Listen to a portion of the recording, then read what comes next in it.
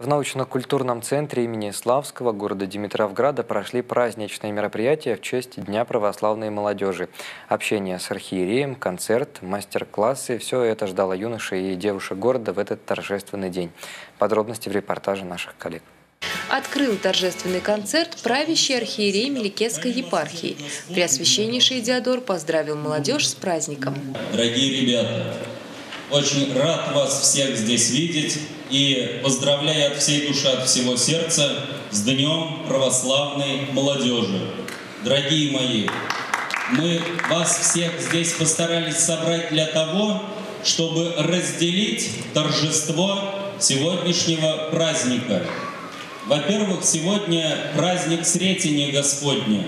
По-русски это значит встреча с Господом, встреча со Христом. Поэтому, дорогие мои, самое главное и самое важное сегодня подумать об этом и просто порадоваться, повеселиться, возблагодарить Бога за все Его неизреченные милости, которые Он творит с нами каждый день в нашей жизни. Дорогие мои, благодарить Бога за то, что мы есть, за то, что есть у нас близкие, любимые люди, за то, что вас касается молодых в первую очередь перед вами. Я надеюсь, Богу будет угодно большая, интересная, замечательная жизнь, исполненная творчества, любви и множество замечательных дел.